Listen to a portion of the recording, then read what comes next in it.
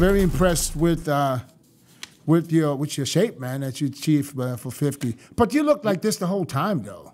Nah, you know what? I did do a I did do a nice stint, and people like you motivate me, man. You know, it's like you stayed in crazy shape. It's like you always say, "I'm getting smaller," and I know you said you were back to training. I think yes, I saw a couple. Yes, yes, yes. Uh, but you know, I wanted to do something really cool to kind of engage my community and and show, hey, it's been 10 years since I quit. You know, 2013 was the last year, so it was literally like, it was I think like two weeks ago was the official like 10 year mark. Hmm. And uh, you know, like you said, I stay in. I love to train, so I stay in decent shape. But I really wanted to, you know, add some cardio in there and try to fill up a little bit. Of course, Milos, Milos didn't approve of how big I actually got. He was like, "Man, you need to be big." Yeah. How, hey, what was I your? saw him yesterday. How much That is- weight? How much weight did you put on? In that I phase. actually, so I started at 245 and I ended at 230. So I dropped weight, but I feel like I gathered a little fullness and, you know, I was obviously more conditioned, but it wasn't about gaining weight because I really didn't want it. You know, what, being 245, it's just really not necessary. My Right. goal was to really land about 230, 235. And, you know, I did it without a ton of substance, which it was the food was the hard part, man. Back to six meals a day See, I can't do it no more.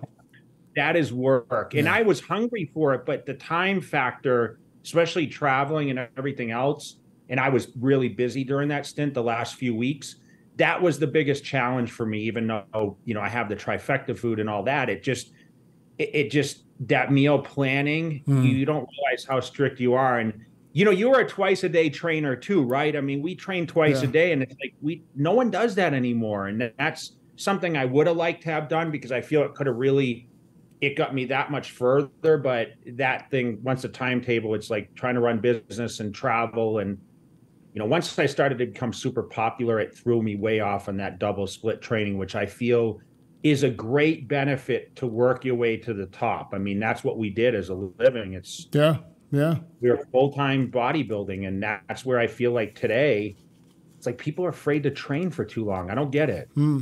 So if how how is your appetite though? Because you said you went back to six meals. Do you are you hungry six times a day?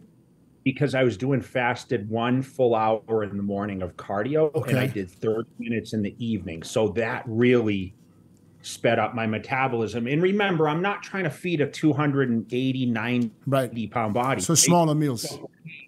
Yeah, smaller portionate meals, right? So so He right, looked- huh? Yeah, yes, he, he looked jacked. Yesterday, I've seen him like you know that bursting full chest, right? But then super flat stomach. you know, Uh, Always, he al- Jay always had a flat stomach. I don't, No, he's- I, he's I not don't think. I don't think I've ever seen Jay with a distended stomach. I don't even care if he was Yeah, eating one Olympia. three pizzas. 2005, Dennis. Right. But that was that was probably when you when you turn around and did your back double. No, no, No, it was flat chest. You I had trouble. I had trouble. You know, I I carved up on oatmeal that year, and it just it gave me it just wasn't digesting that well. Uh. It was something different I did, and it bloated me for sure. Yeah, that's the time they were touching each other's legs, him and Ronnie and all Yeah, that yeah, stuff. yeah, but yeah. But I'm I'm talking about bloat. Like I was bloated. You know what I'm saying? I'm talking about that kind of bloat. I'm talking about I'm talking about not being able to see your feet. Well, you know, we we did tend to overeat. I feel Yeah. as we progressed, and you know, I was talking to to Milos yesterday and giving credit to like Sean, even Chris. You're on here. Um, Dexter, like I feel like those guys didn't try to chase anything else. They they kind of they were criticized to being like, oh, they always look the same, but that same was dominating, Yeah, right? it was a good. It was the great same. Yeah. Yeah. Sean man, like- Sean Ray is the same. I mean, he was people keep criticized him a lot for never changing. I mean, that's a good thing. If you could, you know, consistently come in great, what you need to change for? I mean, you know? Chris, Chris, the same thing with Chris. Yeah. Chris, you've never really chased the mass game, and you knew what your strengths were. And I mean, if you look at the career, it's it's the consistency you had, right? And that's what you look at now on the retirement years, and they look at the greats and they say, "Man, the consistency," because that's the hardest part is to stay constant with what we do and, and have Yeah. success that way. Yeah. you know. So, are you back to full eating regular meals or still six meals a day? four meals a day. I mean, I. I think I've actually probably put on a little weight and lost a little bit of the the lean the lean mass I had, but I like I got up this morning, did 45 minutes of cardio, and Mm. I still at least do 40 minutes. I, I'm not really pushing an hour now, and honestly, the meals aren't as necessarily as clean, and they're not as uh, as frequent. I don't know how you guys feel, but for me, I used to I used to be a huge eater. I could I could I was able to eat like every hour. If you would have told me you got to eat a meal every hour, that would have been no problem. Now, yeah, Problem. no, I was. I could never listen, eat like that. I Yeah, could you- you- I could that's fair. I could literally eat, and I, I'm gonna give you an example. A meal that consists of three cups of rice and 14 ounces of meat. Okay? and then I'm hungry. When I'm done, I'm gonna ask for another cup of rice. Just to top, just to top it off, like a dessert, almost. And I, like this, I was able to eat. That's why I got so big because I was able to put food down. Because people, you know how people are. Oh yeah, he's using the fucking gear to the max, and it. No, it was literally the food. It, it went everywhere, but I, you know, I, I gained size. But right now, I'm at a point where I have a hard time getting four meals in. So for me to get four meals, I got to wake up at six, and I'm going to drink a shake at, at, at seven, and I have breakfast at ten, and then I have another meal before I train, and dinner. That's it. Three meals and a shake. It shake. counts as a meal, yeah. Yeah, but well, cause the shake I put I put oatmeal in, you know, almond milk, oatmeal, and uh, almond butter, and I, I put some calories in there. But, Other than that, other than that, after six, I have a hard time. I have no more appetite after six six thirty. PM, no shit. I'm That's- telling you, no appetite. I can go without food from six from five o'clock on, no problem. Wow. Jay, uh, Jay, remember the back in the day they had the rankings of uh, all the competitors in the in the back of the magazine. Were you like invested in that Yeah. uh, uh, mentally, or were you like, were you like, how would how did you feel about that, and, and did you get in, involved in that too much? I don't know if I was ever high on that ranking though, Chris, until you know, I always looked up to all you guys and I, I mean Were you checking it out? Of course, Yeah, every- of course. everybody.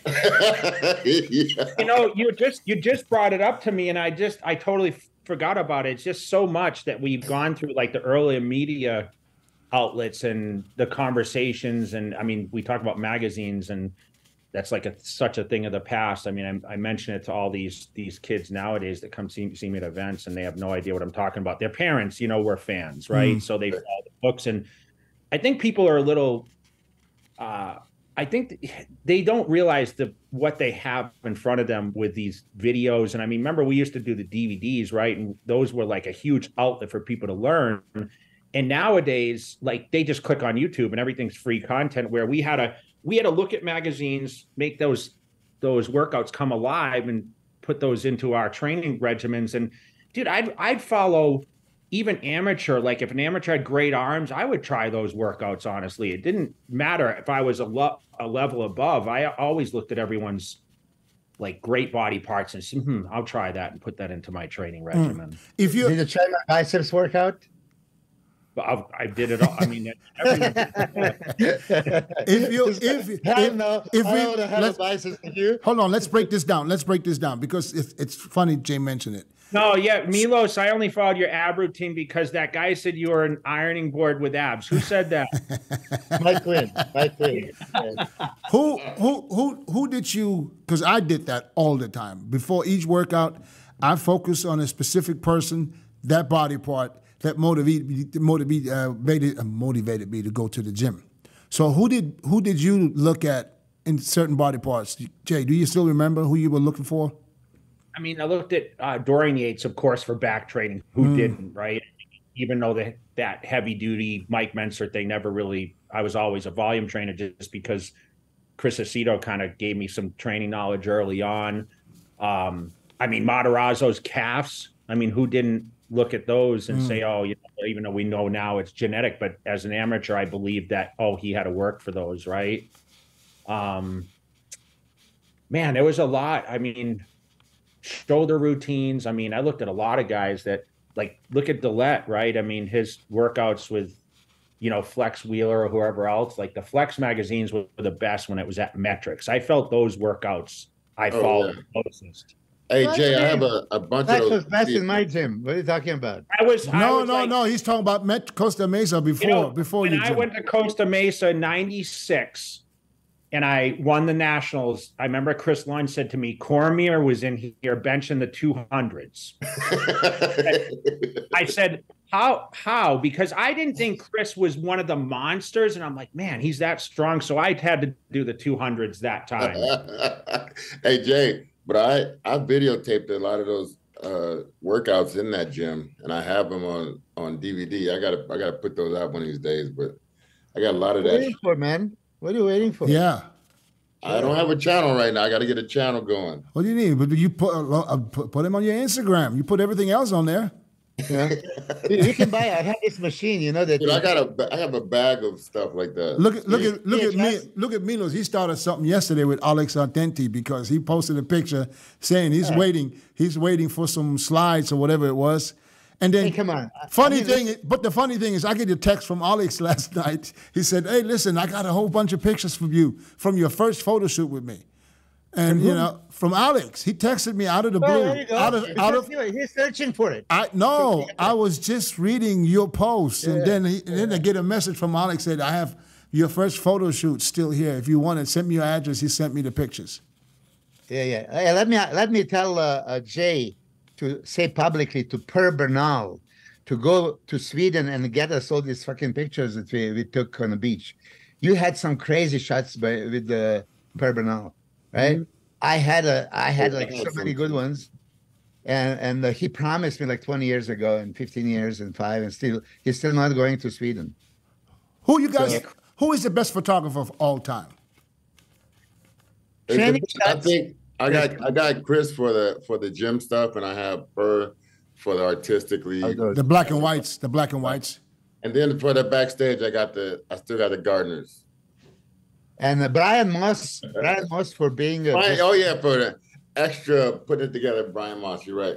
Yeah, see, see, there's, there's, a, a there's, a, there's a lot of there's a lot of good ones. If we there's a lot of good ones. If we have to choose one, who will we go for though? Oh my god. You know, Uh, I well, mean, uh, Chris Lund has to be Chris Lund. That, that Yeah. magic. That I think mean, so too. He gets into every fucking rap. You know that that's why he told uh, Jay, "Hey, Chris just did 200, so he can do 200." Uh, but you know how that all went. He You took- always have to the heavyweight. He. It's a no fake grimace. Like, back in the day when we went to Mike Neveux's uh, uh, you know studio and do those oh fake shit, Mike Neveux. you have to make the stupid face, right? And I didn't want to make a stupid face. He says, no, no, no. You know, you gotta, you gotta make it. Ah, ah, look, I hated it. But Chris Lund didn't want to make you, uh, you know, do the face. He wants you to do the lift and then make your face all you want. He wants you to grit your teeth. You, Yeah. Chris, Chris, still does it today when he trains somebody. I always fucking, I always fucking die when I see Chris working. when I see Chris training at somebody, the weight's not even lifted yet. Chris is already. a minute. I'm oh, right with him. yeah, yeah, you 100 percent in. Can you guys remember your very, very first photo shoot? Who was the photographer? The very first one. I remember mine. Oh. Jerry Jerry Fredericks. No, And uh, yeah, Jeff Fredericks are good. Je- Jerry Yeah. Fredericks. It was. I know you're talking about. It was. Yeah, uh, good stage dark hair. shots. Dark hair, but it wasn't Jerry. No, no, no, no, no. I'm not talking about the dark hair guy. Jerry Fredericks. He was bald headed. I think. Yeah, I, Oh, I but- did the, Rav, Ralph DeHaan, Ralph DeHaan in San Bob Diego. DeHaan was my first. Yeah. And then there was another one. He was always looking around at goals, and he was he always writer? he always Gelb? Irv Gelb exactly. first writer? And uh, John, What about the John, first writer? John Amentler, right?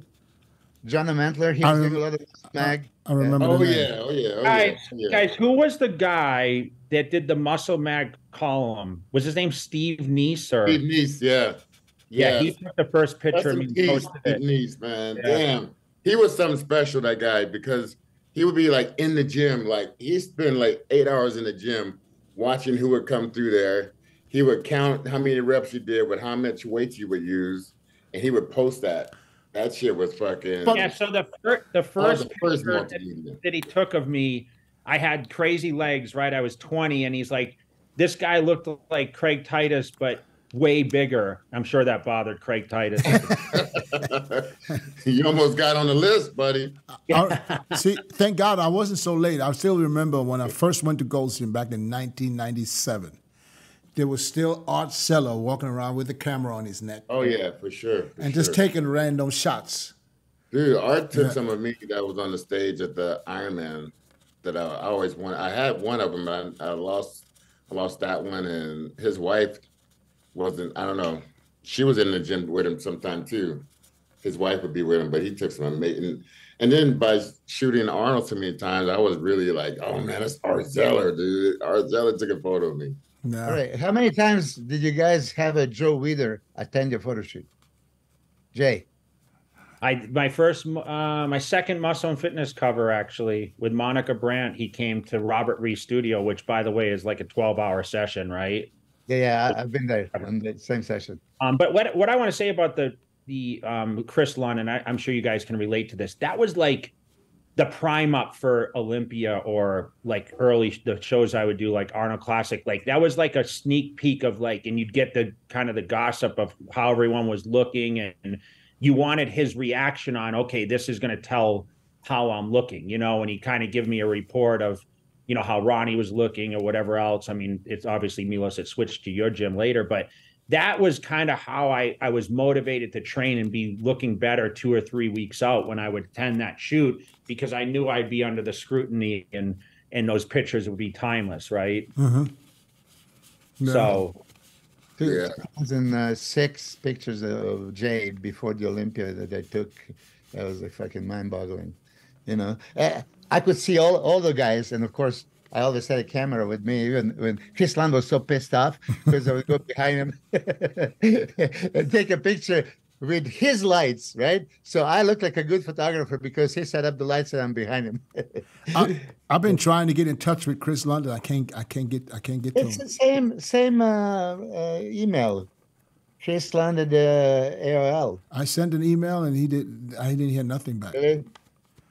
Yeah, maybe Jake can. Uh, he'd be good to get on uh one of these conversation pieces for I sure. know. I wanted to have him on this roundtable I because feel he. like I feel like when he- he left, he was like, "I'm out. I'm done." Yeah, he has because he would have some stories. I mean, some real stories too. Yeah, he and, might- and maybe maybe I contributed to that, you know. So I tell you, uh, la- last time, uh, and I talked to him about a couple of years ago because you were talking about Peter McGough. You know, God uh, bless his soul, what a great guy. But uh, that was the thing. Everybody was asking me to apologize to this, uh, uh, you know, Paul Chua guy, you know, to to be able to uh, not be suspended, and I didn't want to apologize. And then Chris Lund, he calls me and said, "Milos, you, you got to do it. You know, apologize. Uh, you know, otherwise they're gonna kick me out, uh, and uh, I'm leaving your gym. If I leave your gym, I'm not gonna shoot ever again." And I said, "Don't you fucking tell me, you know, to apologize. I'm not gonna apologize, right?" So I guess I yelled at him, and uh, that's what he took uh, against me. Like he reminded me, "You don't remember your screaming session with me?" Like, "Oh, did I?" I said, "Chris, I just I don't Milos, let Milos, you people tell me lost. what to do." Of On test that day, Milos, did you lose it? Trent. course I lost it. You know, hey, come on, man. That was the paraballing days. So, so, know, so if I do get in touch with him, I, I shouldn't tell him that you're on the on the round table. No, I, I I told him, I apologized to him. I explained everything, and he understood. Uh. I mean, listen, I was. This is exactly what happened. And uh, Jay, you know the story, right? When they were asking me to apologize, and I didn't want to, and I went to the Weider office, and Paul Chua comes with a piece of paper at the uh, Peter McGrath McGough office and put it there just for me to sign. You know that I apologize. I, I didn't want to just uh, to sign. I told him to wipe his ass with that. And that was it. He stormed out of the office. Peter McGough hugged me and he says, Look, I respect you, but I can't save you. You know, this is it. I respect That's you, what he but, said. but you're gonna die. you know, and, uh, and Robin Cheng, I apologized to him. I said, Listen, but you guys oh, Robin gave you that paper to sign. just uh, make me what? Robin gave you that paper. Robin, yeah, Robin came uh, Oh. because I just needed to sign that I apologize. I said, I'm not going to apologize. You know, I didn't do nothing wrong. And uh, that was it. But then I lost, as you know, all the contracts. But the worst of all was Jim contract and Chris Lund stopped shooting because Imagine Olympia, Medal of Champions, uh, Arnold Classic, any goddamn show. Everybody. I mean, how many times uh, Jay Cutler was there? Ronnie, you guys, you know, shit. Seeing, and this is not seeing you in off season. That's seeing you like week out, two to two days Right. after, Did- stuff like that. Do, do you remember seeing Chris falling asleep during the photo shoot? No. Ah, Chris, uh, Chris, uh, yeah. Yeah. He, was- he was in uh, Brian Moss uh, uh, photo shoot in the Coney On the Island. island. Hey, I was was, up all night though. That wasn't fair. No. what do you mean that wasn't fair? You knew that photo shoot was happening. You still up all night. hey, I've never Well, seen I just- anybody. He was standing in the bus and snoring. he was standing, holding the, the pole and snoring. Yeah.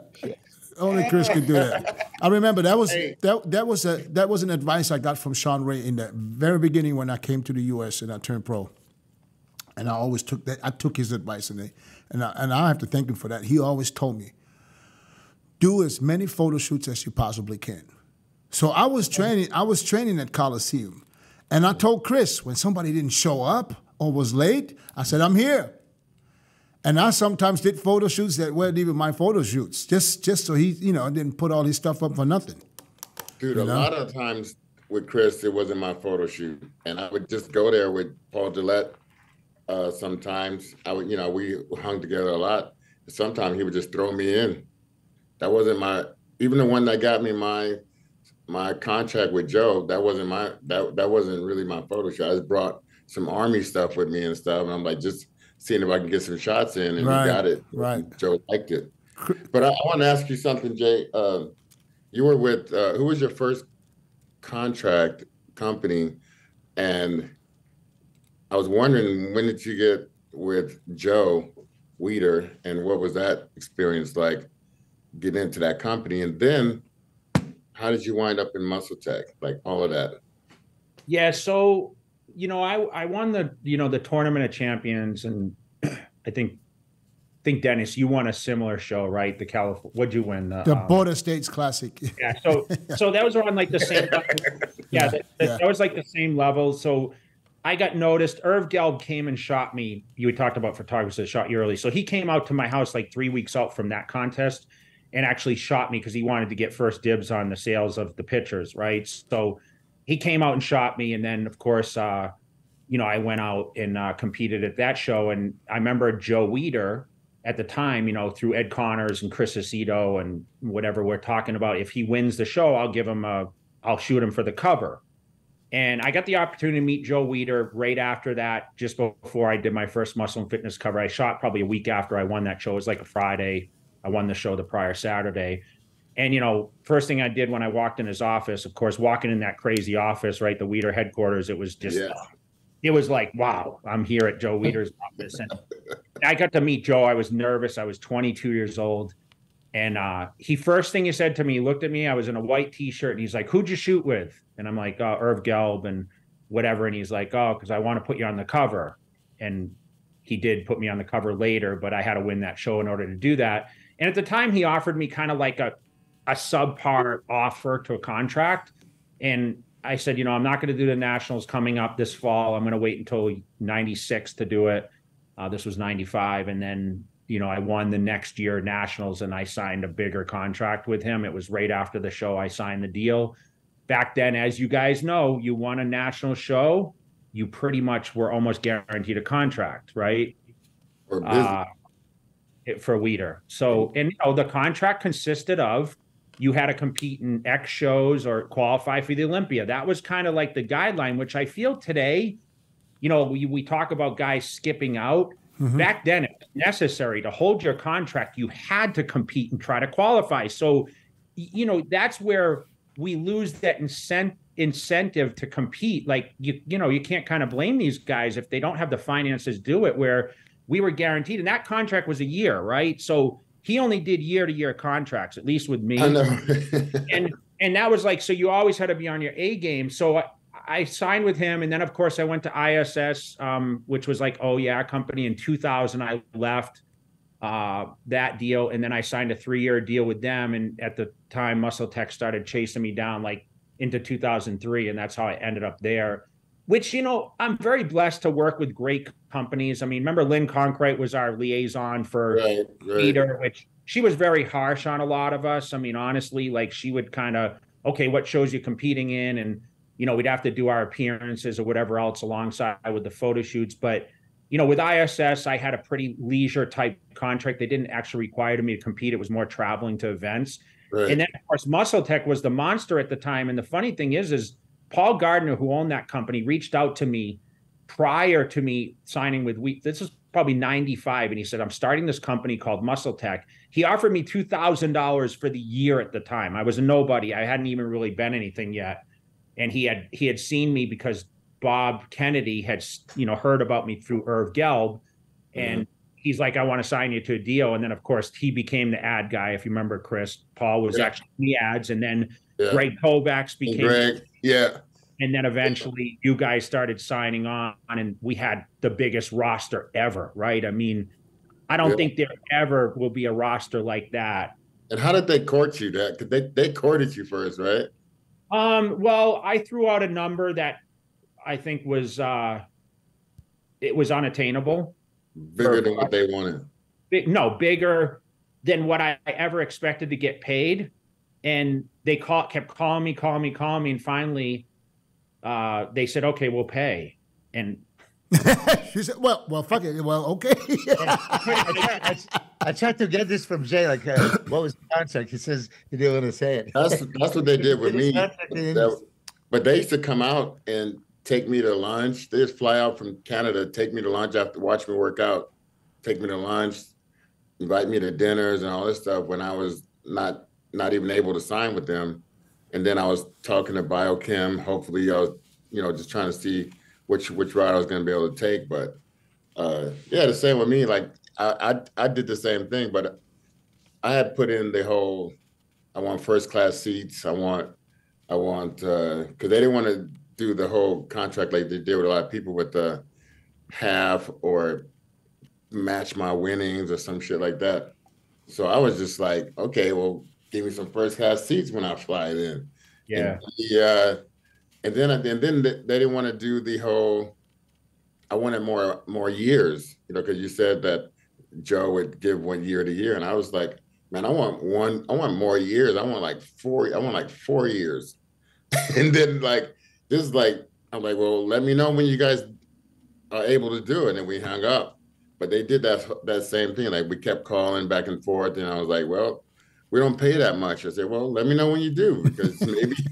let me hey, let, let me know when Jake leave and when Jay leaves. So you got you got some No, money I was left there over. Before Jay, yeah. He was there. For, Oh, he was right. there for before Jay. And uh, you know, the funny thing is, is I like the multi-year things too. Like ISS, I signed a three-year for comfort. You know, you weren't really sure. Honestly, I didn't know how my career was going to go. I mean, 2001 was like uh, a crazy fluke. I signed the deal in 2000, then I next Olympia, I broke through and almost won. So for me, I was in a very comfortable position. As you guys know, I sat out 2002 because I wasn't forced to compete, which probably, as I get a little older, I'm like, damn, did I miss an opportunity? Right? Because that was the year. I mean, Ronnie did come in smaller, and then This Gunther one this beat one him. Günther almost beat him. Yeah. Yeah, at the, well, uh, in- yeah. No, I was I was third. I think Gunther was behind me. 2000. I, I know no no he, yeah he beat him after the Olympia at the at the GNC or whatever that was. I remember I was But, uh, I was there.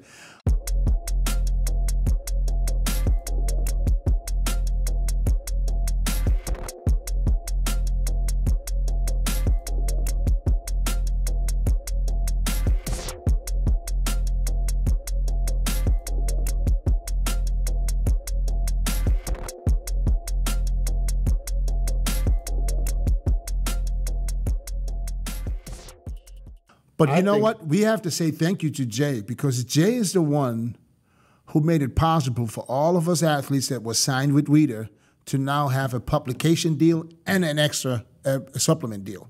Because remember, before we signed with Weider, you were signed to a deal where you can't sign with anybody else because you get the, those ABB products. You remember American Bodybuilding products and all that stuff. And I think Jay was the one that made that happen.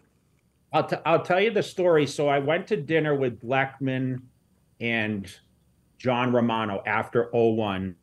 Um, I was at the Nationals like a month later. And we sat down. They said, How can we do something together where I said, well, why don't I create a column in the book and you can pay me a monthly fee on it? And uh, he goes, yeah, that's a great idea. So honestly, I, I think I signed for like five grand, like a monthly column at the time. It was the first time ever. And it was like, I could still kind of do things with the other magazines. And then Peter McGough came to me and said, Hey, can you do the same thing with MD? You know, we do with MD. And I said, Absolutely. And they paid me like 7,500. So I was making, you know, 12 grand a month, over 12,000 between the two books. But then when I lost in 09, I 08, I remember I was had a vendetta against Flex a little bit because they really counted me out. And I said, you know, when I finish this contract, it was a three year deal. I'm going to only be exclusive to MD, and MD bumped me to a crazy contract to be exclusive to that book. And I have to like Blechman. I know a lot of people discredit him, but he signed me to a five year contract, and he stayed true to that five years, even post retirement for me, which I have to give him a lot of credit for. Uh, which a lot of people I know that he he's not done some right things with certain people from their their accounts, but uh, he he did follow through with everything that they ever pushed me to do. But that was the first magazine contracts. That's how they were created, honestly. Right. Right. But then it's when we had the publication contract, right? There was no way you can do anything with the other, but the, only Jay, only Jay had both. And then, you know, the diuretic testing, you know, uh, as soon as Jay shows his teeth, everybody backs up. Like, God damn, right. Jay. Question, question for you, Milos, and for you, Chris. Yeah. Who was Joe Weider's favorite? Was it Gunther or Jay? Gunther. like, I think honestly, it might have been uh, Lou. Uh, I, I, think Lou was the highest paid guy. Oh, was he? Gunther was probably paid pretty well, though. I never. Gunther got a million because I was supposed to get that contract. I, I yeah. heard, I heard that uh, Gunther got the a million dollars for three years. Yeah, yeah, it's three hundred thousand a year. Yeah, yeah, yeah it, it wasn't a million a year. I, I heard three hundred a year for uh, three years. It wasn't a million a year, but it was a, a million for three years. Yeah, yeah, yeah, that's possible. yeah, yeah, that it was, was a million to me. Shit. Well, the good, I guarantee it is, and the contract didn't say you have to qualify for the Olympia. Nope. Because you're gonna get an invite regardless. well, how many times you got the invite? Twice. Three times, I think. Three times. Yeah. More, I think. No, no, he qual- he qualified a few times. I, I don't know, man. And, and uh, if you think about it, you know, back then it was. Uh, uh, I don't know. I don't even know. Top three that qualified. Uh, top three. Or top five in the at the bigger shows. No, the, Olymp- the, the Olympia top ten back then. Hey, but how many times did that happen though? Not many. Yeah, top ten Olympia, top five Arnold, top Olympias. five another champions. And, top three. And, and I think I, I think great. I think it was also top five at the Night of Champions. Yeah, guarantee. Because that's how I squeaked in a few times. So now, guys, what do you guys think? Is it was it easier back then to qualify, or is it easier today? Is is grass green? Is water red? No, I mean. I'm, well, you could qualify. I'm looking at it from both sides. Back then, it was easier because you could place top three, but it was harder because you had top 10 guys in shows. And you had less shows. Less yes, shows. exactly. Really? dude, there was only how many qualification shows? Honestly, I mean, yeah. if you we had we did have the tour back then, but when you have Chris and Kevin and Sean and Nasser and all these guys, how are you gonna? Yeah. How do you hey, qualify? Right. You know, you, did, you didn't have that problem. I had. Yeah. I, I go to the, those tours and everybody's showing up, and I, you know. But yeah, listen, when I when I did the NOC, Ronnie was first, Kevin was second. I mean, uh, you mean when I beat you, 98? Uh, no, that was the other years. hey. He claims we had a tiebreaker and he had highs and lows. Yeah, and, I don't, I don't oh, that's oh, oh, he broke down the scorecards for you. yeah, you had the same amount of points but they awarded me whatever highs and lows. I'll take it. They probably get. They probably went. To, they probably went hey, by age. I have a hashtag. I beat Jay Cutler. That's hey, it. that tiebreaker probably Milos. That tiebreaker probably went by age because they said he's older. Let's give it to him. hey Jay, uh, did you? But, ever, but listen, I mean, uh, just think about it. Sunday, this last Sunday, we had uh, two shows. One in Europe, one here. Yep. Yeah. What the hell? I mean, what opportunity! All the European guys could go there, you know, and uh, be safe. Yeah, you were young. back in the day when all this happened, but you must have been around maybe 22 ish in that area. But there was a. Do you remember the East Coast West Coast wars we had? Like, Yeah. like we had like a like a beef between the East Coast guys and the West Coast guys. Well, so who was Jake represent? Jay representing Uh, because Jay was, East, Jay was East Coast for sure. yeah, oh, wait, wait, but, the but he- Matarazzo Tomeo situation, no?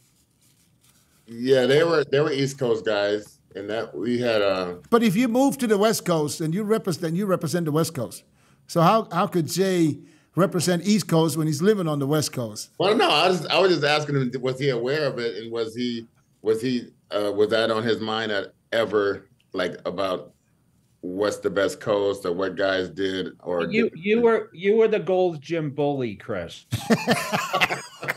no, we had a crew.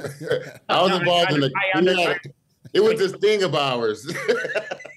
I know, but just admit it. You, Rico, Flex, you yeah, guys. I mean that was our that was where we came from. That's the type of mentality we had. Came from where? Even when You guys are gym bullies. when you came into the gym looking for a handout or accolades, you didn't get it. We was like, who the fuck is this guy? Th- Those guys were chasing Mike Tyson. You know the story. I mean, yeah. no, but Yeah, the, the I know. is- I know exactly what Jay is saying because I remember. I remember when nobody would talk to me either. I would walk. I, I would say hi to Flex, you know, and I, you know it was kind of like a, it was almost like a shy hi because I knew Flex from the magazine. Now I'm in Gold's Gym. He's sitting down and he was he's doing, and I said, "Hey, how you doing, Yeah, Flex? didn't- we how you doing, Flex?" And he- this is what he get. He like didn't that. even look at me. He's like, "That's like, what the fuck is wrong with him? Oh, I, I told him that. In the meantime, I told him that at least a hundred times. I said, "You motherfucker, you just ignored the shit out of me." And then at the USA's, Thank you, Paul. then literally a couple of weeks later at the USA's, I'm on stage. It's my first USA's, and he flexes there. My brother is sitting there. Flex is sitting in front of I don't know with who, in front in front of my brother. And Flex knew that I was from Germany, right? So my brother's telling me, he said he, he wanted to get up and just punch him from the from behind. He was screaming all kind of shit and scheiße in German. You know what I'm saying? I was like, be damn.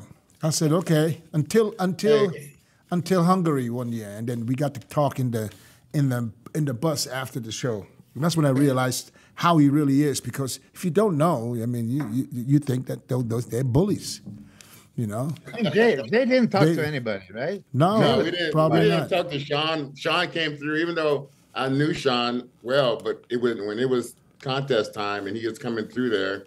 I didn't have much to say to Sean either, or uh, even Paul Dillett. Paul had to, you know, I guess I don't know. We felt like you guys got to prove yourself or something in some kind of way before y'all before we let y'all into that little what's up and all that stuff. All right. You know, it's like gunslingers come through the door. You know. Jay, Jay, where's bodybuilding heading now?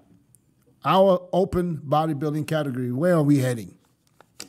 Um, I mean, this I, I think this year is going to be super competitive. I mean, I, I know people try to downplay this isn't, you know, the golden years are done and and whatever else. And you know, we have a lot of I think, you know, this year it, it's it's a question mark on who we think is going to win it. But, you know, with the other divisions, I, I know, you know, listen, I know Chris is like super popular in classic and you know, men's physique is a category where I feel, you know, guys have improved a lot. But I think, you know, there's an opportunity now where people have a choice. You know, when you start off as a teenager, I just think we have less of the younger youth chasing bodybuilding, which is unfortunate because people talk about the youth being the future of of what something can become. And I feel like we just don't have as much um, admiration for the bodybuilding side you know of course people are going to transition because they they're going to grow and they're going to outgrow divisions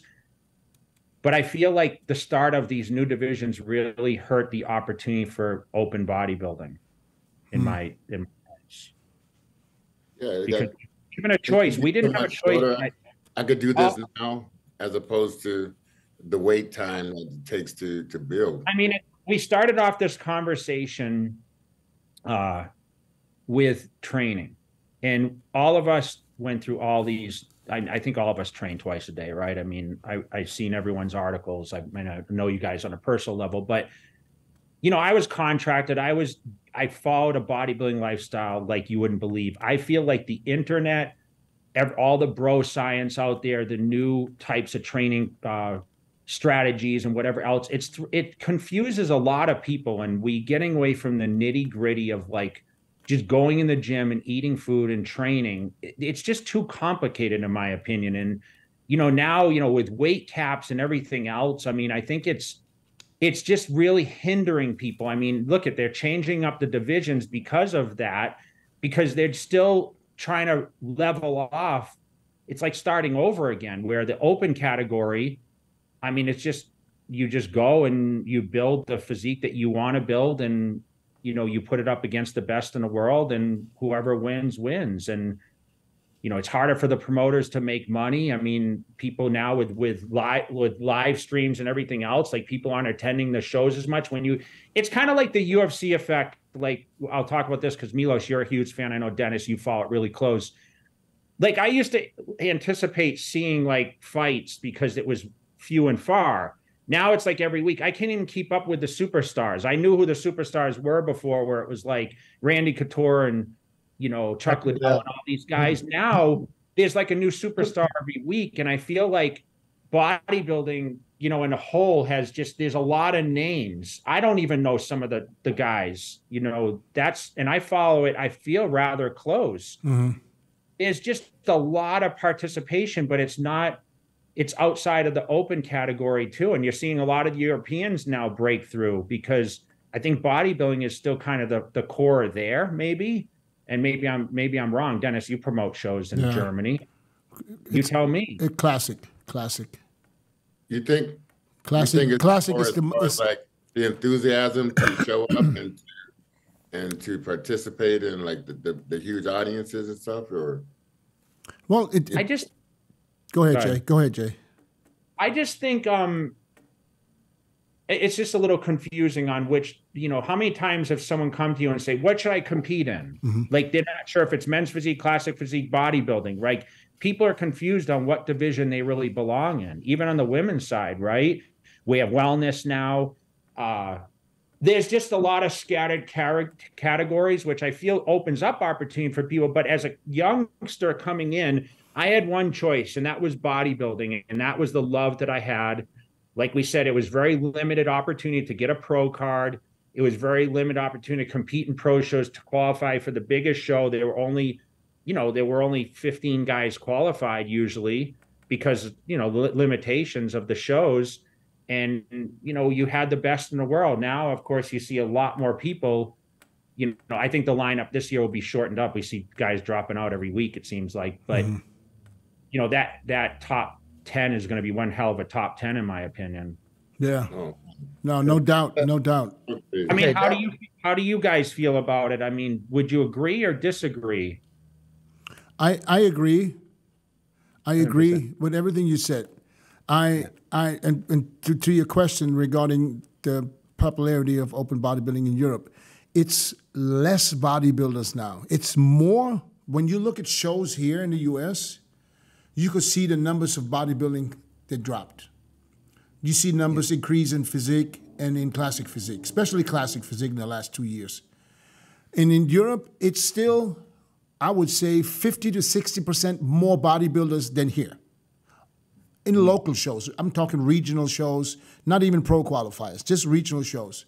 So, but you can see the numbers are not where they are because right now, a lot of guys that used to compete in bodybuilding this is competing classic. For them, it doesn't really matter if they're classic shape.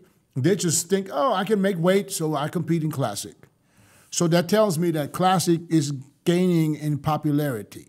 So I think that there's a lot of guys right now that just want to look like these classic guys, which is, I mean, there's nothing wrong with it. I mean, we got some great athletes in classic, but in bodybuilding, I don't think it is the same.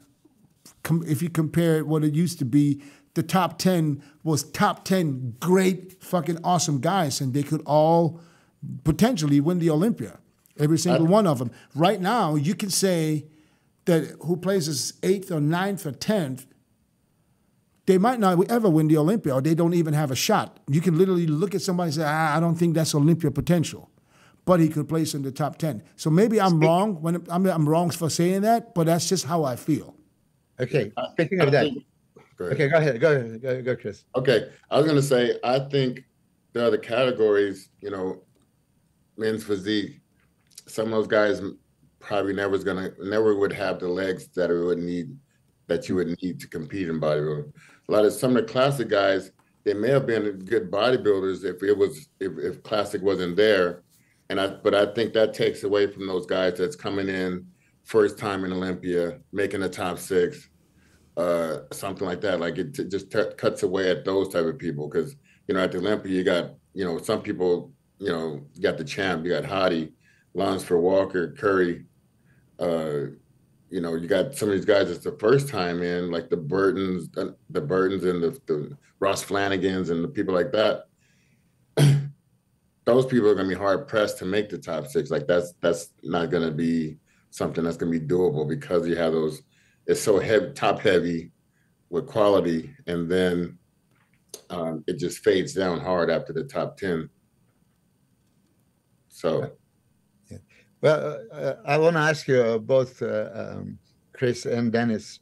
You, you said about the Olympia potential, and I wanted to. I know that you went with uh, Jay 2000 to the British Grand Prix and uh, you know post Olympia Euro Tour, and, and and I guess you saw him there. I I haven't seen those shows. I know that when I seen uh, Jay 96 first time in uh, um Gold Gym, uh, I, I really didn't think that uh, uh, Jay you had a potential to win Mr. Olympia. I mean, it just that's '90s era, all the Chris's and Flex Wheelers and Shawn Rays and Kevin Levrones and all that stuff, right? So you put this, this things in perspective. So I didn't see it coming. '98 uh, when I beat you at Night of Champions deservingly. that also, you know. So '99 when I beat you at Olympia, and I uh, just kidding. I, I didn't see. I know what I wanted to say. I didn't see you uh, coming until uh, 2001 when you absolutely shocked me at the Olympia stage. But I, I guess Dennis, you saw him 2000, and uh, as Jay was kind of talking uh, uh, that Chris Aceto told him after 2000 British that the gap is much, you know, closer than people would think. And uh, Jay came back with a vengeance in 2001, almost beat uh, Ronnie. But did you look at Jay like? Yeah, but like, I, I, I see. I, I don't compare this with Jay because that was Jay's second Olympia, and you could see already what, what's what's there. I'm not. Com- I'm not looking at these guys when they're amateurs. I'm looking. I'm talking about guys that are qualifying for the Olympia two, three times already, and you already know. But, but uh, the, my question is not about the guys. uh, Oh, about- okay. All right. I want to know. I want to know when did you see potential in Jay and Chris? You too. When Okay. did you see that? I'll tell you when I when he started coming around more, uh, he was with uh, Muscle Tech, and we even before he was with Muscle Tech, I think we had a conversation, Jay, about you know the potential you being with Muscle Tech and the, the the perks, and I think I was like, man, you'll like it, man. I said you'll like it. So Jay was like, you know, I I we we'd speak, you know, numerous occasions about you know all kinds of different stuff. You know, I've been I even like I was telling Jay, man, I got you got to eat a bunch of fucking sushi, man. I fucking pound this shit right here, like since for the last ten years or so. And I was like looking at Jay, like I didn't I didn't look at Jay like oh he could never make the Olympia. I was looking at Jay like man, he's got potential. I just don't think he's doing all the right things that's gonna help him. I- I mean, Jay, I I can. I can see Chris. We back up to whatever year you're just talking about. I can tell you exactly what Chris was thinking. There's no way. Tell there's me, no. gonna- there's no way he. No, don't there's, say nothing. There's no way Jay will. blow him out the water. Go ahead. He go ahead. probably thought that there's no way that Jay will ever beat him. If you're honest, that's probably what you thought. no, but listen. Okay, to, Tell the truth. my defense, no, no, to my defense. All right, blow me out the water. I'm gonna blow out your water, out the water.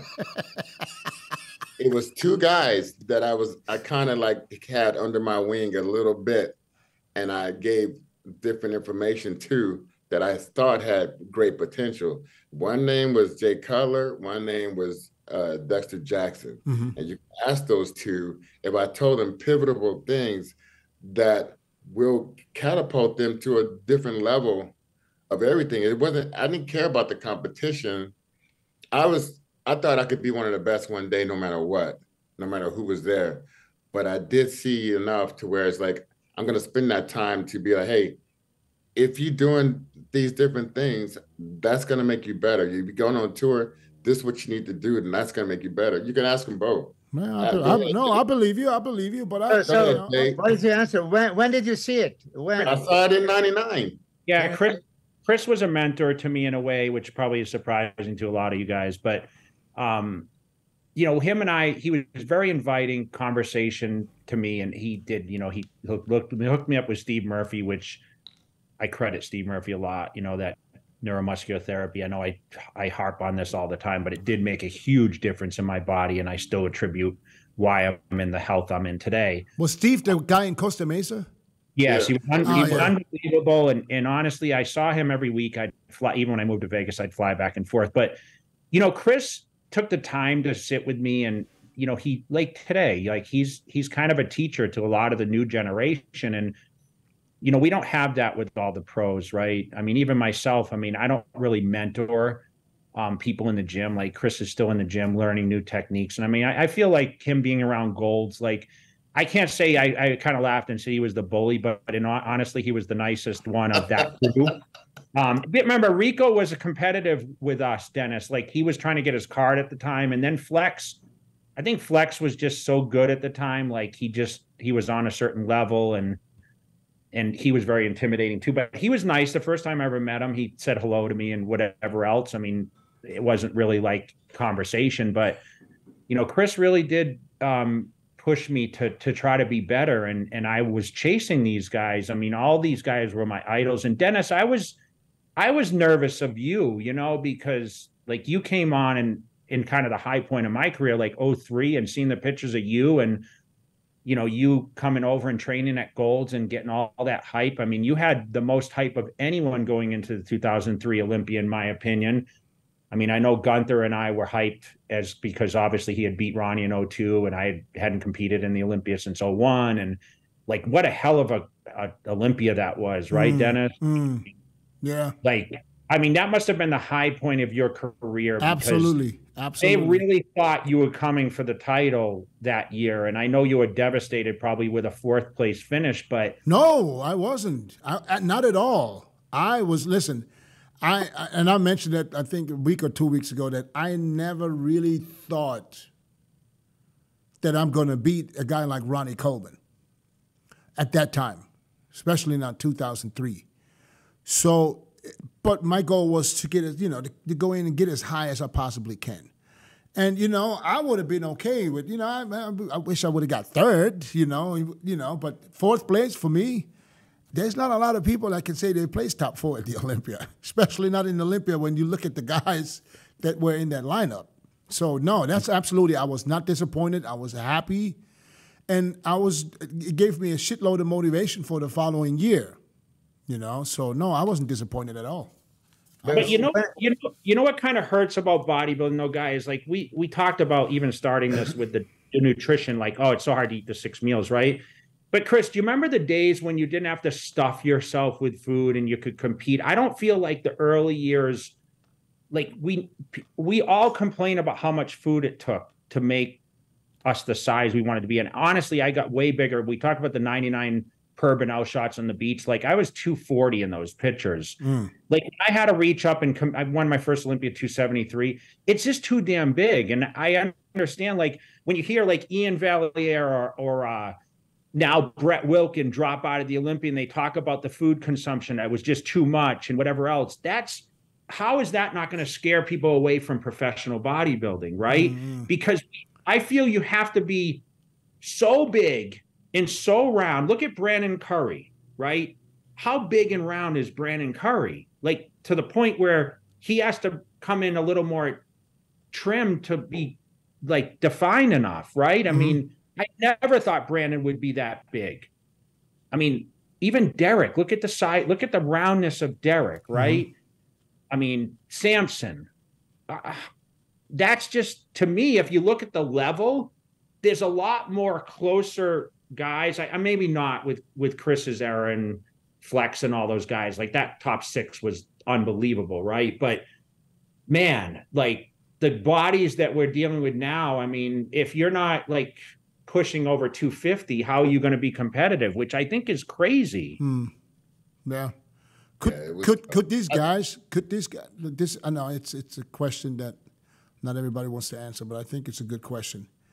Guys like like the top six from last year, let's say the top six from last year, where would they place in the top six, let's say in the 93, 94, 95? Would anybody would would every, anybody For- have would anybody uh, yeah, mind-boggling to think. Chris, Flex, Kevin, Sean, four guys that just premier athletes and they never, never won Olympia. I mean, Yeah. that's that's that puts things in perspective. Those four guys could be Mr. Olympia today at uh, any point, right? Yeah. Yeah. So, so what do you think? If let's take the top six from now and put them in the Olympia, let's say '98. Okay, but th- one thing, Dennis, I think Okay, just Guys, just, just just just answer. just answer. Just, an, just answer It's hard, to, it's hard to say, man. I know it's hard to say, but because because when you look at it, when you look at it, who out of the top six from last year would have a legitimate shot making top six? Let's say '98. Just you choose one. year. Okay, let's let's throw out Shawn Ray. Would Shawn Ray be big enough to stand next to Hadi Choopan, Derek Lunsford? Like it's a they judge the uh, size uh, now. I feel like mm-hmm. right. Yeah, I Yeah. think Sean Bird. I think Yeah, Sean. but the same Sean plays second to Dorian. Now, are those guys bigger than Dorian? I would. I would. No, I would. I would say Sean. I Sean would Bird. I would say Sean, '94 or '96 Six. Yeah. would still fight for the Olympia title today. What about Kevin Levrone? Same. Uh, Yeah. No doubt in my mind that Kevin, Chris 99. Kevin, Kevin, at, Kevin at his best. yeah. Chris 99 Olympia. Oh my God. You know? That was that was tough, man. Yeah, that's that's that's what I'm trying to say. I'm not listen. I'm not down talking any of these guys. These guys are great, and this is the best we have right now. You know, this is the top of the top. But when you size is not everything. Size is not everything. I mean, if we compare sizes, then you know, look at Nasser. Look at Paul Dillett. You know, look at uh, look at some of these monsters from back in the days. I'm just. I'm, I just threw this question out because sometimes I'm, I'm just thinking about it. I said, because I saw um, what's his name, um, the guy that does the BET podcast. What's his name? Where's that podcast? Damn, I no, th- ah, he had Dorian on. He had Ronnie on. He had uh, Oh, Dexter that one on. guy, the dark Uh, hair Paul, guy. Paul, Paul, uh, Patrick Bet-David. Patrick, yeah, uh, Patrick David. And I remember when he had Dorian. Dorian was the first one on his podcast, and he and he showed pic, he showed Dorian the picture of Brandon Curry. That was 2019. He just won the Olympia. Dorian said he wouldn't make top six in our time. I mean, Ronnie. when, when, when he had Ronnie on, I think Ronnie was feeling a little good from the painkillers that moment because Ronnie was Ronnie had Ronnie had a good time. He's right there in Dallas. That's where they do that, right? yeah, yeah, no, I think this guy's in Florida.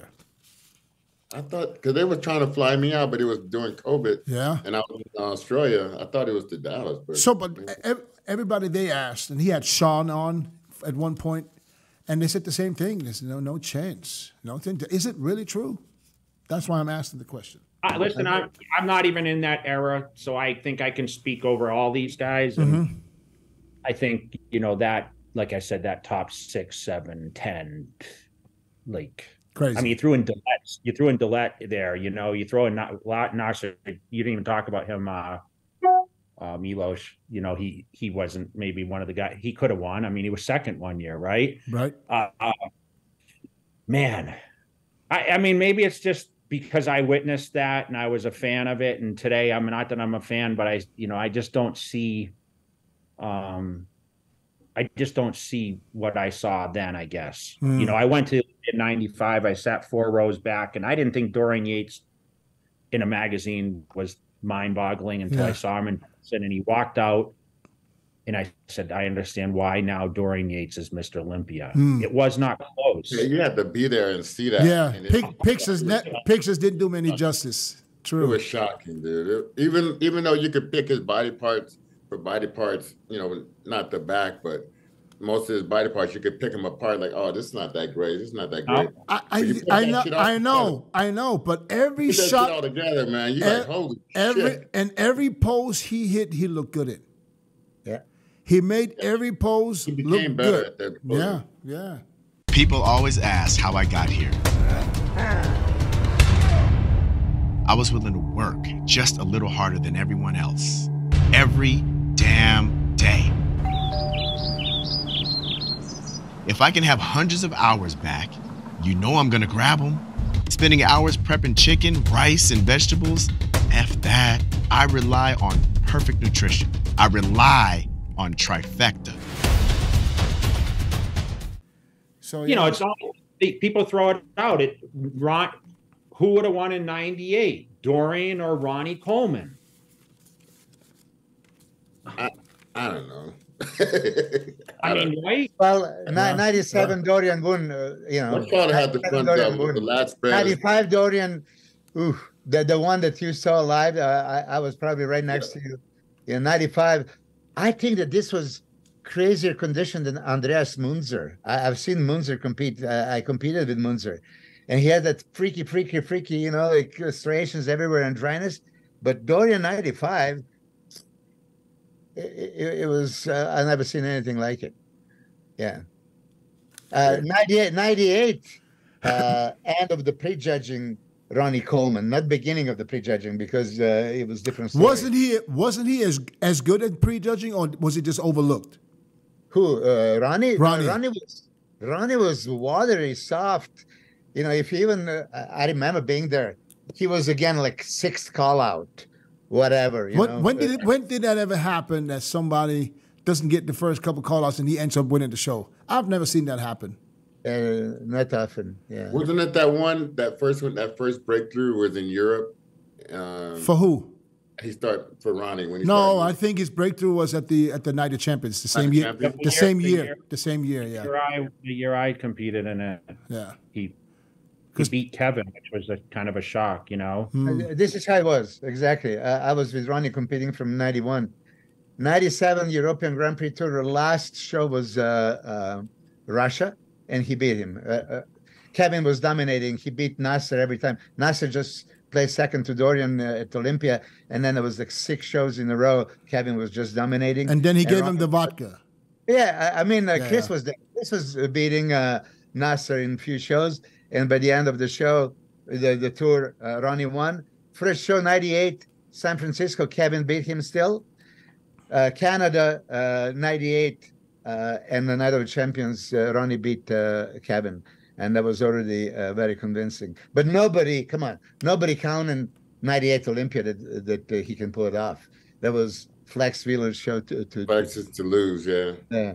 And then the, the like I, I said it before, but man, flex on that Wednesday, dude, it was like, no way, dude, no way, no way, no way.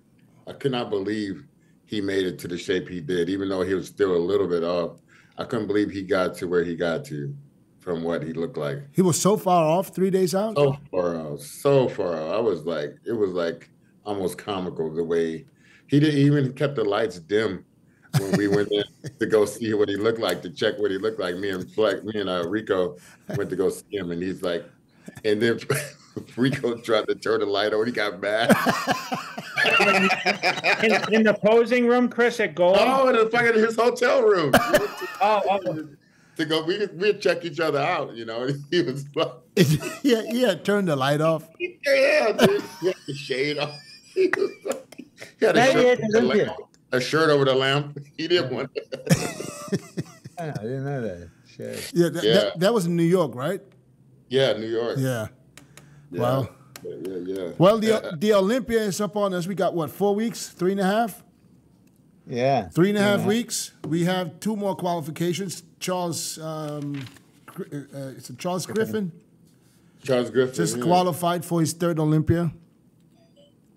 And Theo Legeret. you Yeah, know, that French is it a French guy or where's he from? yeah, French. Yeah. from France. Yeah. So I mean, when you look at these guys qualifying right now, I don't think that they're they're, they're going to have a super hard time to even break into the top ten, top fifteen, possibly.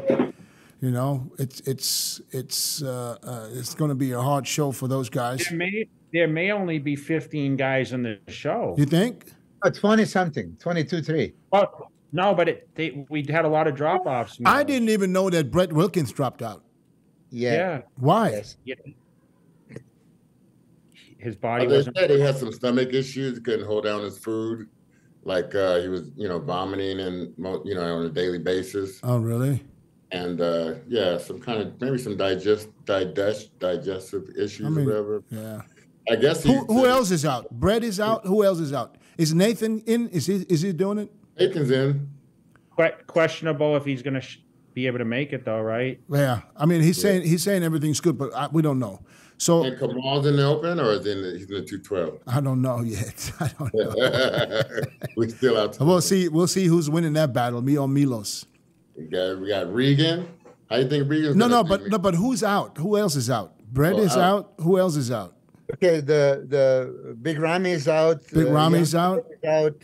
Who? And uh, yeah, Iain Valliere. How do you say? oh, Iain. Iain. Iain. Iain. retired. Uh, shit. Man, how do you how do you get ready for a show and you say I'm gonna retire? Well, Damn.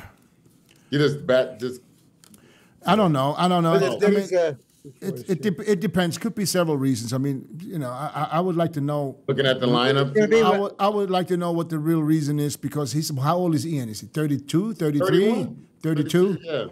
You know, That's th- that's an a early age to retire, especially if you, you know, consistently But you qualify know- for the Olympia. So I hope it's it's not has nothing to do with you know, health issues. I hope he's okay. Damage, damage to the muscles. Could be. It could be. It could be many things. We don't really know. I mean, at the end of the day, we can always speculate, and uh, I don't want to speculate. So Do you think people do all the weight dropouts, there's still more than 20.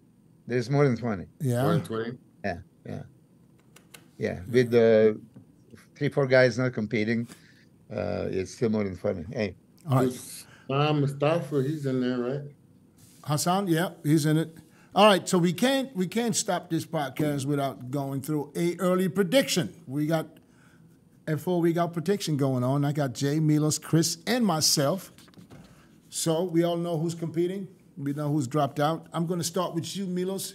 Give me your why, why always me first? because you you on top on the left. Most I have to out- start okay, with you. all right, all right. Listen, I, I I'm not gonna change. Samson winning, Hadi second, Derek third, uh, fourth is gonna be uh, um, Who's Derek for a third? uh, Samson winning, uh, Hadi second, Derek third, Nick Walker fourth, fifth uh, is gonna be uh, uh, Andrew Jacked, yeah, and sixth uh, uh, Brandon Curry. Okay, we're going for six today. All right. Honorable mention. Ah, okay, uh, top five, yeah. Uh, top five. okay, I'll, le- I'll leave the sixth in there. Chris, you want me to remind you what you had last week? Yeah. Remind him. You had because it changes every week. It He had Chris had Hadi, Derek, Samson, Nick, and Andrew.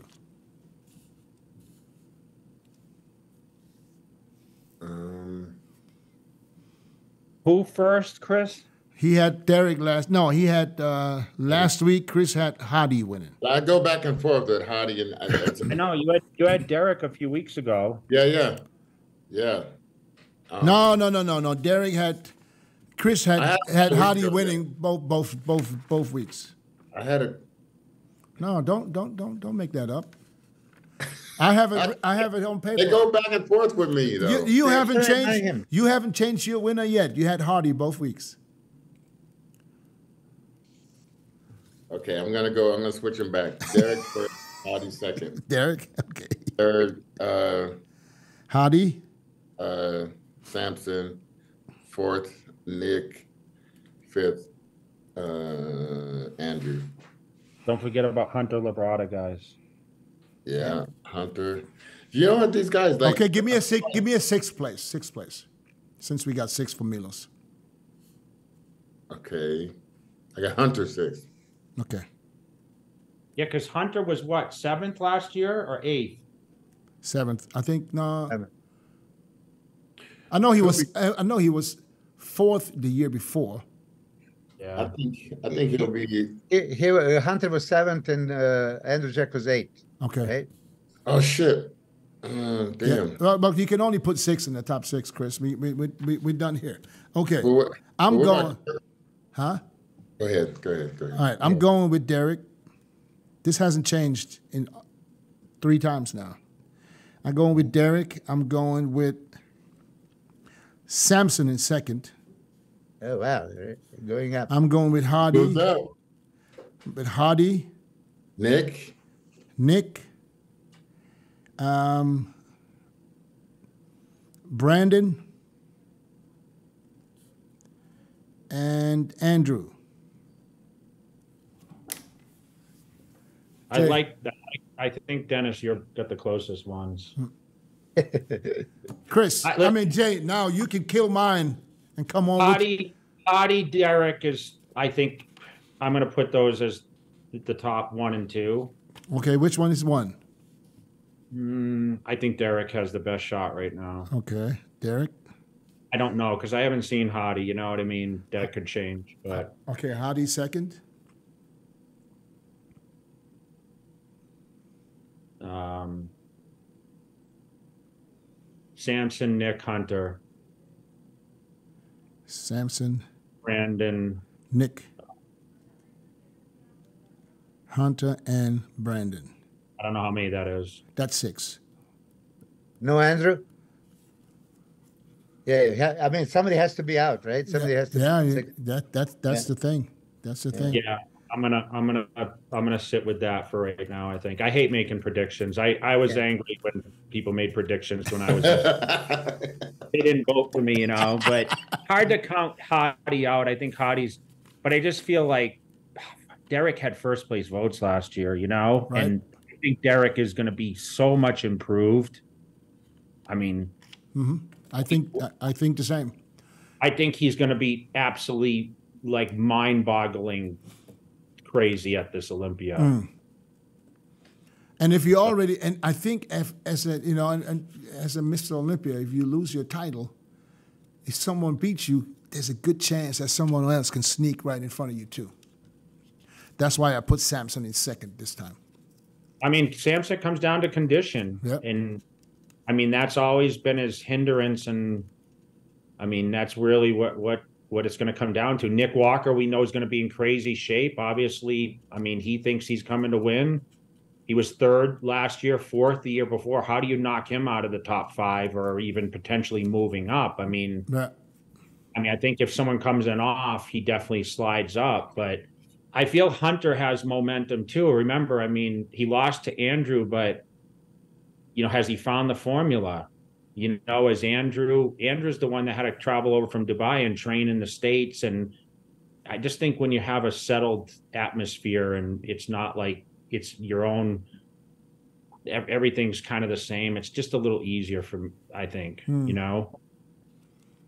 So Can Hunter beat an Andrew if an Andrew is on? I think it was close at that Texas show. It was. You was it close or That, that's what they say. Yeah, They- they had- I think they compared them. The final call out. I think they did four rounds. but his look was better the, at the at the one in Tampa. I thought. Whose look? Uh, Hunter's. Hunter? He was better than Tampa and I still thought he was lost. better in Tampa than Yeah. I thought he was better in Tampa. I think it came down I to. think they have it together, I but think- doing that second show, Uh, I think it was so close that they made him pose until one of them started fading. What do you, uh, Chris? I mean, you're. What do you think? I mean, can, can Hunter? Can he win that battle? I think he'll be better. Um, I think the attributes of of Andrew is is more superior, uh, especially at, up in this area. It's like that that area is pretty much second to none with with Andrew. It's just the other body parts, the you know the back the back stuff is still not uh, a wow factor, and uh, you know the the actual lines in the hamstrings is still not not super detailed, but I think uh, you know he just gonna have to play to his strengths and and see where he fall. But I mean, does he have the mass to stand with these guys? Is the question. I know he's big dude, but you know, you put in Andrew? and Derek and all these other Samson. Andrew? Yeah. Yeah, not, I don't think yet. I don't. I, I think his legs are a little, little, little, little in, in need of mass there, and it's hard to fill in that that leg. You know, if you had the Greek freak out there, he would have a hard time too. He just it's just the length of that leg, you know. Yeah, the- the question that you ask does uh, Andrew, who is 290, has enough mass to stand next to the, you know, kind of Derek, who is what, uh, 235? Yeah, but yeah, but it's a foot shorter. Yeah, I, I understand. But uh, look, Derek impressed, every, shocked everybody last year. And and uh, Jay knew. Jay, when we were talking about before the Olympia, he he had a prediction that uh, Derek's going to win. So Jay has an inside scoop and probably seeing things that we don't see. but I, I, te- I tell you this because you just mentioned that Andrew is 290 and Derek maybe 235. Yeah. When they turn around, I think that, that Derek Yeah, has the widest, thickest back of all of them. one million percent, one million percent. So that's why that's why how much how much he But weighs doesn't even matter. shoulders and the arms and the chest and the legs, right? Mhm. That to complete the picture. And uh, I don't think that Derek is massive. He creates illusion, and it looks like he improved the legs. He needed to improve the legs because they were, you know, downsized last year, and then uh, chest, shoulders, arms.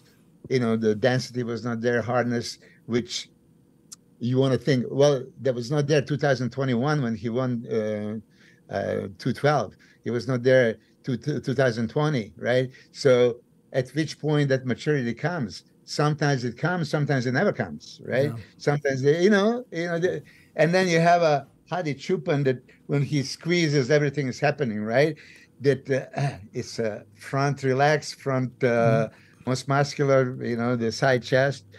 So there are many poses you can see that. But I, I agree. Listen, Derek is like the craziest V taper ever. Yesterday in a in a show when I talked to uh, Jay, I said, extreme V taper, extreme. You you would think that the the the bigger the V taper, the better.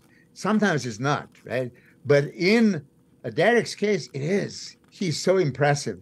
You know, the V taper when when he opens up those lats and the and the waist is so tiny. If And you the- have if you have the flaring quads along with it, then it's But you know, absolutely so- Yeah, you need the.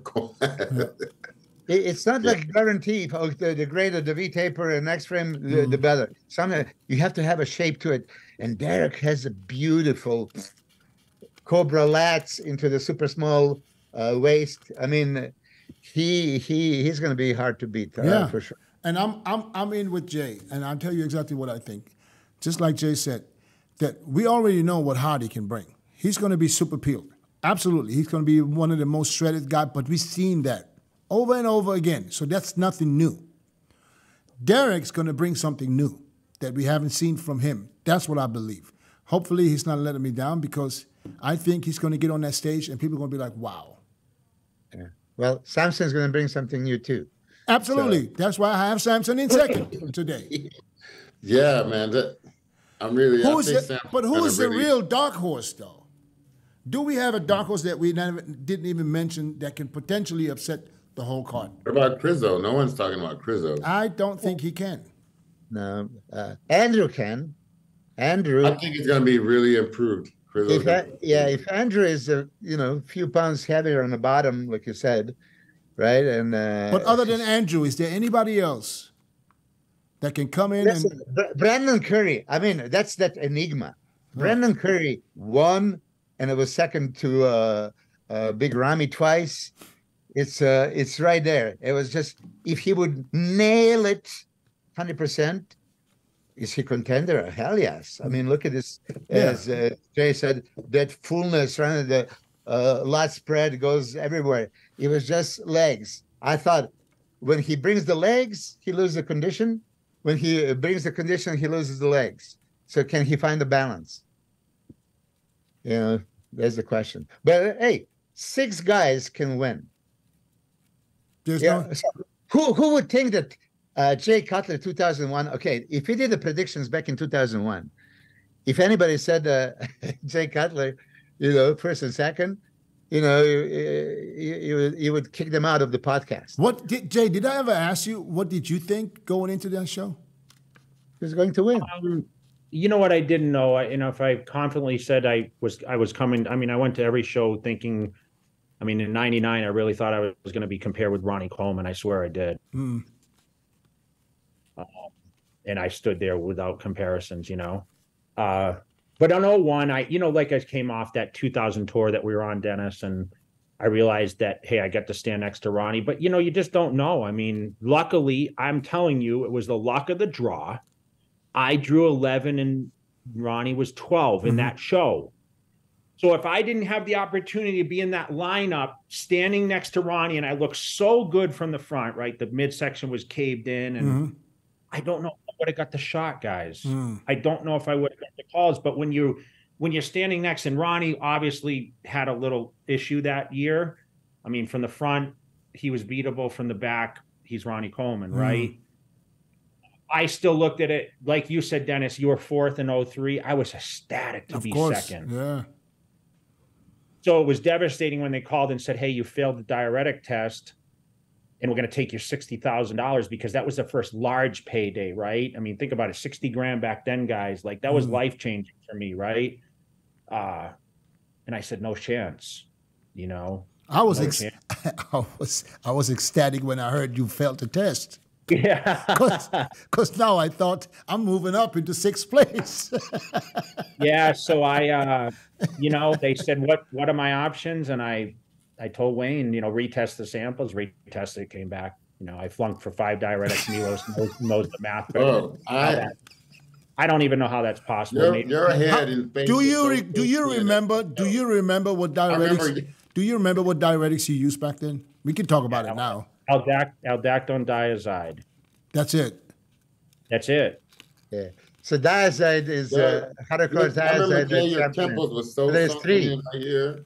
But you I you, was you like, tested, holy shit. you tested positive for five. You know, we can we can uh, find out uh, what are the other I five. lost. I lost thirty pounds in a week to dial in for that contest. Hmm. You were, Imagine this, man. And I was that- too- okay, you were You were- you were phenomenal. 290. but you didn't even drink. Yeah, I, I stopped drinking days out. Yeah, just tiny, Really? tiny sips. Yeah, super I dehydrated. never was about that shit. Hell no. I was I was laying on that floor back there on that cold floor, like oh my gosh, like hell. And on that tour, Dennis, I was dying too. You know, I didn't drink because remember, in eighth, I, I placed eighth at the Olympia week prior, and I didn't look so good. So Chris, I'm like, Chris stayed with me and he toured with me on that, and he's like, "All right, we're just going to drag you down," and I Mhm. probably lost another 15 pounds or something to do that tour with you guys, and I was super dehydrated there too. I was miserable, but that's always the best looks. 09, I can tell you that I had to deplete fluids drastically and I could barely eat. That was the most challenging part about why I don't miss competition is the dehydration process was brutal for me Mhm. because I always drank a lot leading up to the shows and I had to super dehydrate to look right. Otherwise I was watery. I had a water issue, honestly. Yeah. Awesome. But it's interesting. I mean, I mean, we all all do this. Imagine a couple of days of not drinking and then topping off it if it's just uh, two diuretics, not five.